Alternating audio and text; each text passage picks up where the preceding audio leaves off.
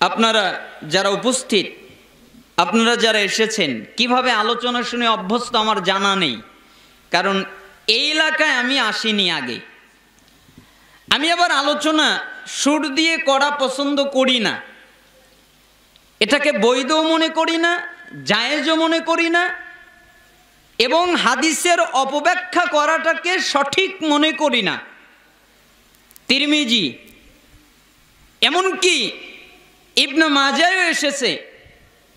Urawa রহিমাহুল্লাহ তিনি বলেন, একদিন আবু হুরায়রা রদিয়াল্লাহু আনহু আসলেন।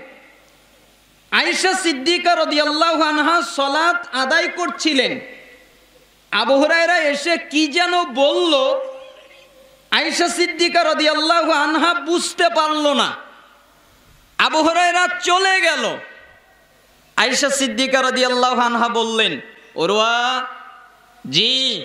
আচ্ছা তুমি কি অবাক হও? কি ব্যাপারে? আচ্ছা তুমি কি অবাক হচ্ছ না? কি ব্যাপারে?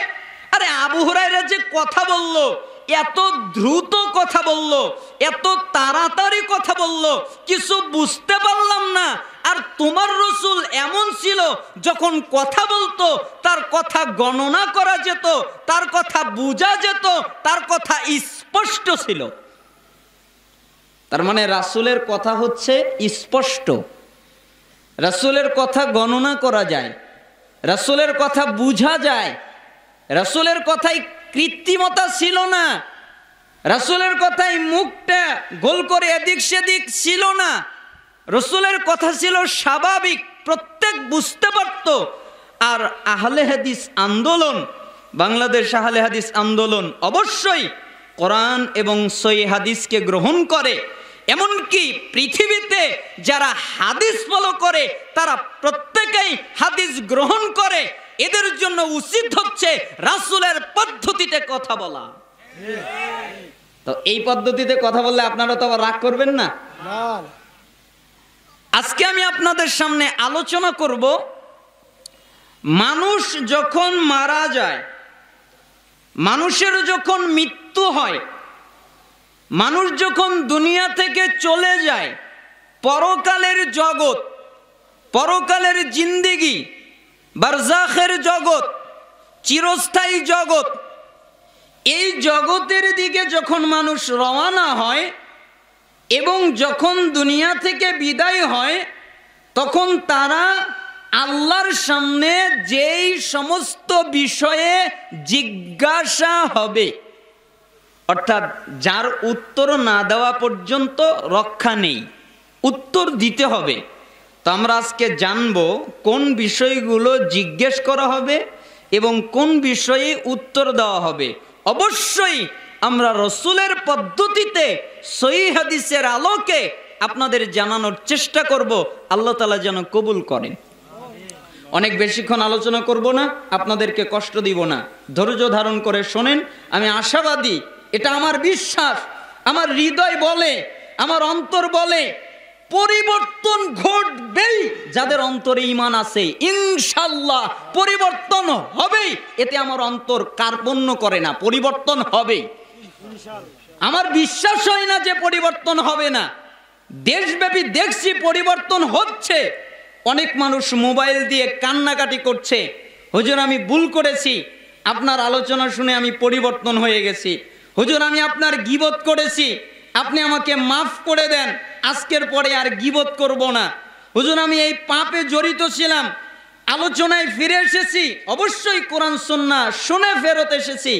হচ্ছে, এটা এই জন্য আমার দৃঢ় বিশ্বাস, পরিবর্তন হবেই, যারা মনোযোগ দিয়ে অনুধাবন করবে, আল্লাহ সুবাহতাল্লাহ যেন প্রত্যেককে কবুল করেন। আচ্ছা মানুষ যখন মারা যায়, প্রথম জগৎ প্রথম ঘাটি কি? কবর বারজাখ পর্দা, দুনিয়া এবং আখেরাত। এর মাঝখানের জগৎটাকে বলা হয় বারজাখ এই বারজাখের জগতে মানুষ যখন কবরে যায়, তখন জিজ্ঞেস করা হয় না? কবরে জিজ্ঞেস করা হয় না হয় না? হয়। আপনারা আমার সাথে উত্তর দিবেন, তাহলে বোঝা সহজ হবে। জিজ্ঞেস হয়? হয়। আপনি যখন মারা যাবেন, একটু ভাবেন তো, আপনার যখন মৃত্যু হবে, যেই মানুষ আপনি বাড়িতে দামি ফ্যান লাগিয়ে ঘুমিয়েছেন, দামি ফ্যান এবং দামি এসি লাগিয়ে ঘুমিয়েছেন, ওই মানুষটা যেদিন মৃত্যুবরণ করলেন, যেদিন দুনিয়া থেকে চলে গেলেন, তখন কত মানুষ আপনার চতুর দিক থেকে আপনাকে ঘিরাও করে নিবে। আপনি একবারের মতো বলতে পারবেন না, সরে যাও সরে যাও। আমার গায়ে বাতাস আসছে না, আমাকে বাতাস আসতে দাও। অক্সিজেনের অভাব হচ্ছে, চলে যাও। একথা বলার ক্ষমতা নেই। যখন আপনি আপনার শরীর থেকে পোশাক খুলে নেওয়া হবে, আপনার দামি অলংকার খুলে নেওয়া হবে আপনার দামি ঘর থেকে আপনাকে টেনে বের করা হবে। আপনাকে যখন খাটে শুয়ে দেওয়া হবে, তখন আপনি বলতে পারবেন না, আপনার ক্ষমতায় টিকবে না। হে আমার ভাই, আমার শরীর থেকে জামা খুলে নিচ্ছ কেন? আমার কাপড় চুপড় খুলে নিচ্ছ কেন? আমার অলংকার খুলে নিচ্ছ কেন? আরে আমাকে যে পানি দিয়ে গোসল দিচ্ছ পানিটা গরম হয়ে গেছে। আর একটু ঠান্ডা করলে হয় না? একটু ঠান্ডা করে নাও গরম হয়ে গেছে। এই কথা বলার অধিকার ক্ষমতা আপনার আমার থাকবে না। আপনি মারা যাবেন আপনাকে নিয়ে যাওয়া হবে। আস্তে আস্তে কবরের দিকে নিয়ে যাওয়া হবে। আপনি বলতে পারবেন না একটু আপনার ভাইকে ডাক দিয়ে আজকে আমাকে কোথায় নিয়ে যাওয়া হয়? বাবা, আজকে আমাকে কোথায় নিয়ে যাও? আমি না তোমার আদরের ছেলে? হে আমার সন্তান, আমাকে কোথায় নিয়ে যাও? আমি না তোমার আদরের বাবা? হে আমার সন্তান, আমাকে কোথায় নিয়ে যাও? আমি না তোমার আদরের মা? হে আমার ভাই, আমাকে কোথায় নিয়ে যাও? আমি না তোমার আদরের ভাই? আমি না তোমার আদরের বোন? আমাকে নিয়ে যাচ্ছ কোথায়? এমনকি যখন কবরে রেখে দেওয়া হবে, তখন আর বলতে পারবে না। আহ শেষবারের মতো কবরটা দেখে নেই, শেষবারের মতো এই দুনিয়াটা দেখে নেই, দুনিয়াটা কেমন দেখা যায়? এই ক্ষমতাটুকু নেই। যেই মানুষ মারা গেলে তার একটা নাম পর্যন্ত থাকবে না। তার নাম হয়ে যাবে লাশ। কি হয়ে যাবে? লাশ। আব্দুর রহমানের লাশটা, আব্দুর রহমানের লাশের জানাজা করে আসি। আবদুল্লার লাশের জানাজা করে আসি। আমেনার লাশ ওবাইদুল্লার লাশ, নাম নেই, নাম চলে যাবে। তাকে লাশ বলে সম্বোধন করা হবে। আর মানুষ যখন মারা যাবে, কবরে যাবে, তখন কবরে তাকে জিজ্ঞেস করা হবে। কয়টা প্রশ্ন করা হবে? আবার বলেন, কয়টা? কে বলতেছে তিনটা, কে বলতেছে চারটা? আবু দাউদের চার হাজার চারশো পঁয়তাল্লিশ নম্বর হাদিসে এসেছে তিনটা। আর মুসনাদ আহমদের আঠারো হাজার পাঁচশো চৌত্রিশ নম্বর হাদিসে এসেছে চারটা। তার মানে যারা পারবে, তাদেরকে আরেকটা প্রশ্ন করা হবে। এবং যারা পারবে না, তাদেরকে আর একটা প্রশ্ন করা হবে কি, তুমি পারলে না কেন? তখন সে বলবে মানুষে কি যেন বলতো, ওইগুলো আমরা শুনতাম। রসুল আলাইসাল্লাম বলেন, যখন তাকে জিজ্ঞেস করা হবে, মার রব্বুকা, তোমার রব কে? যেই ব্যক্তি রবকে মেনেছে, সে বলতে পারবে, আমার রব আল্লাহ। তাকে জিজ্ঞেস করা হবে, তোমার দিন কি? যেই ব্যক্তি দিন ইসলাম ফলো করেছে, সে বলবে, আমার দিন ইসলাম। তাকে জিজ্ঞেস করা হবে, এই ব্যক্তিকে অথবা তোমার নবী কে যেই ব্যক্তির নবীকে মেনেছে ওই ব্যক্তি বলতে পারবে, মোহাম্মদ সাল্লাহ আলী ওয়াসাল্লাম। এই তিনটা প্রশ্ন যারা পারবে, তাদেরকে চতুর্থ আরেকটি প্রশ্ন করা হবে। তোমার রব যে আল্লাহ, তোমার দিন যে ইসলাম, তোমার নবী যে মোহাম্মদ, এটা জানলে কি করে? তাই না? জানলে কি করে? কীভাবে জানলে? তোমার রব আল্লাহ ওয়াজ শুনে কীভাবে জানলে? মাহফিলে গিয়ে কীভাবে জানলে? আলোচনা শুনে কীভাবে জানলে? ক্যাসেটের মাধ্যমে কীভাবে জানলে?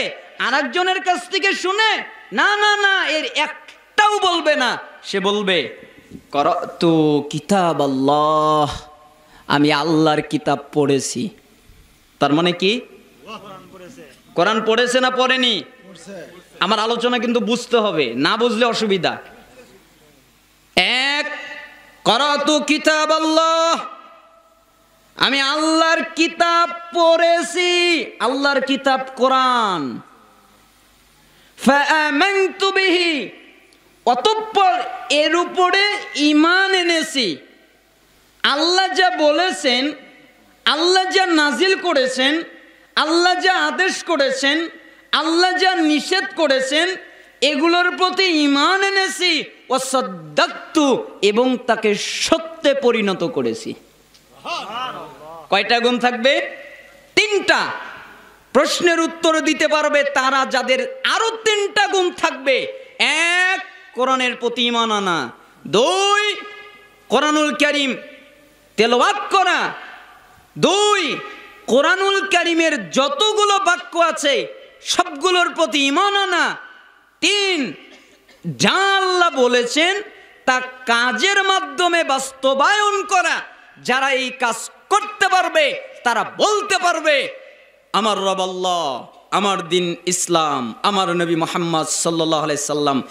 কারণ প্রশ্নটাই হলো, তুমি জানলে কি করে?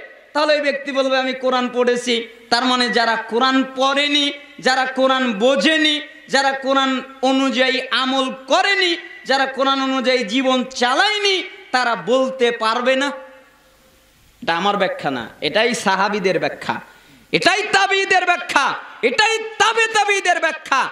আপনি বলতে পারেন আমার ব্যাখ্যা যতদিন পর্যন্ত আপনি সাহাবির ব্যাখ্যা এই হাদিস না পড়বেন। তাহলে কোরআন কি করতে হবে। পড়তে হবে। আপনারা কি মনে করেন, পড়তে হবে?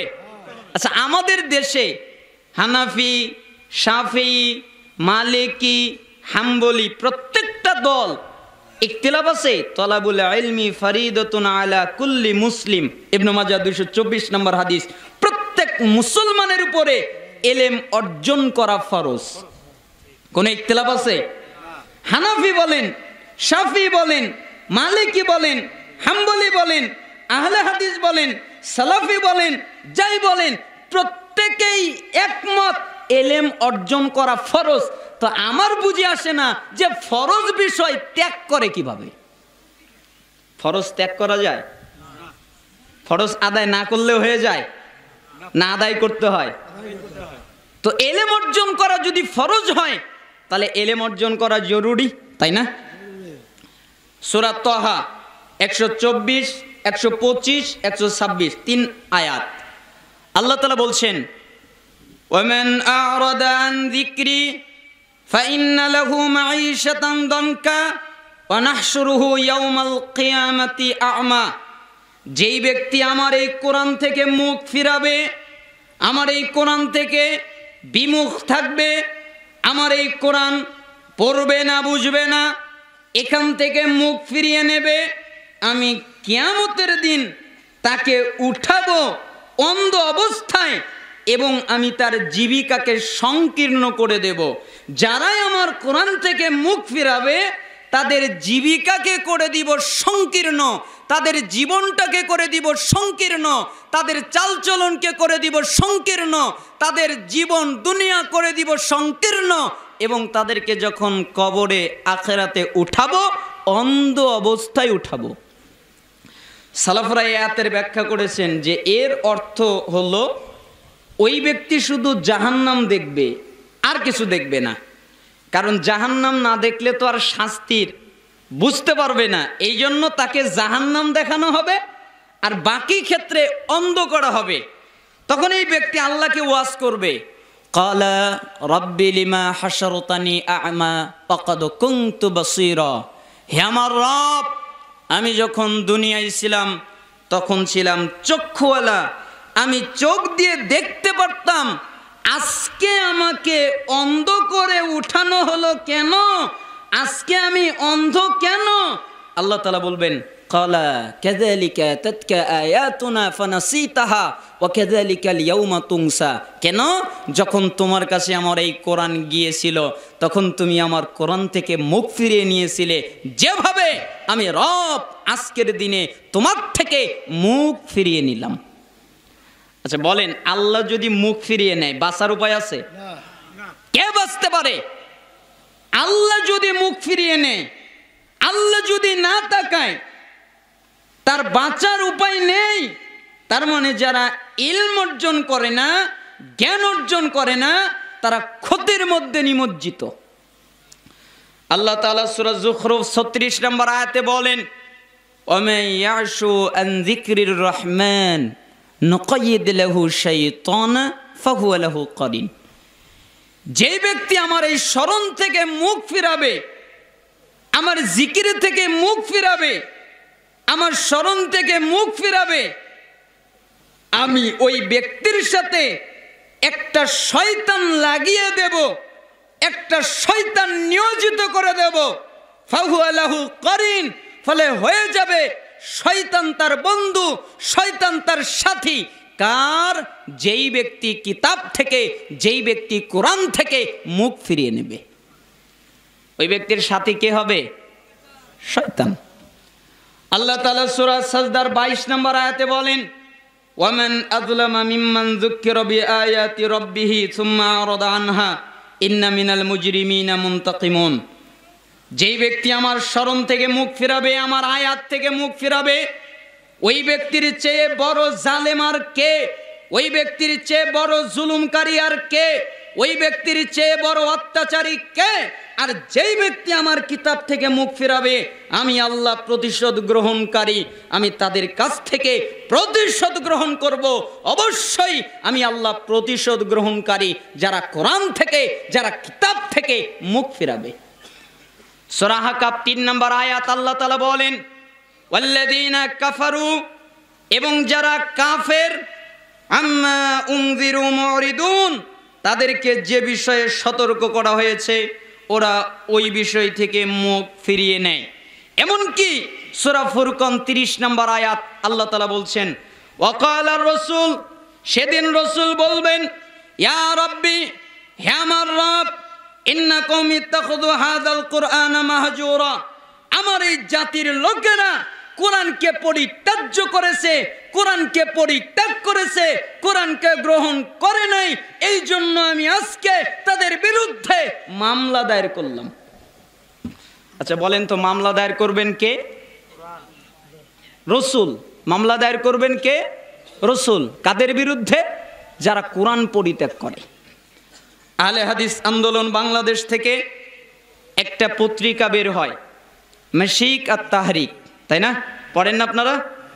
মাসিক আর তাহারিক, দুই হাজার বাইশ। কয় সাল? দুই হাজার বাইশ জানুয়ারি মাস।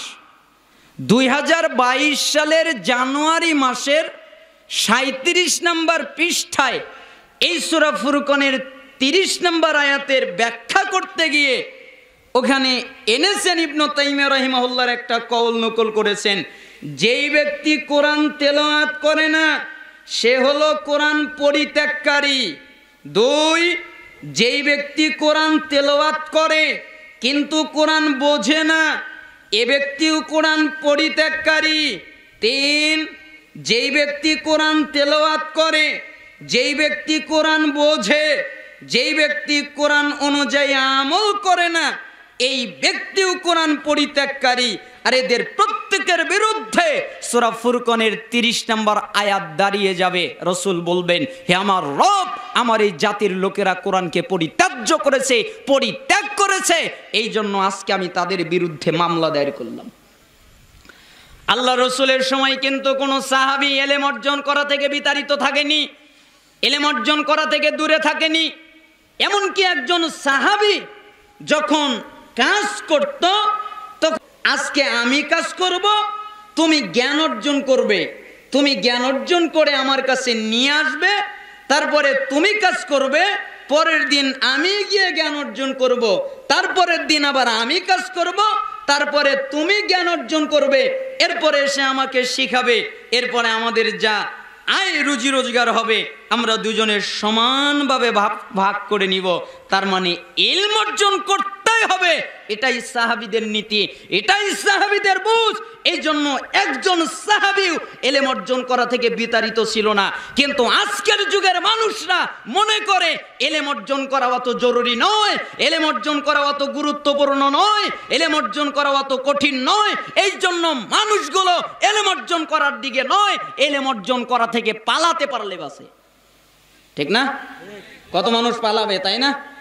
শয়তান কি চাবে? ও বলবে ওট ওট তুই এখানে থাকিস কেন? ওট দামি কথা হচ্ছে, তুই কিন্তু ক্ষতিগ্রস্ত হয়ে যাবি, ক্ষতির মধ্যে পড়ে যাবি, তুই আটকে যাবি, তোর কিন্তু বিপদ হয়ে যাবে। ওট তাড়াতাড়ি বাড়িতে চলে যা। এটা কে বলবে? শয়তান। এটা কিন্তু শয়তানের কাজ।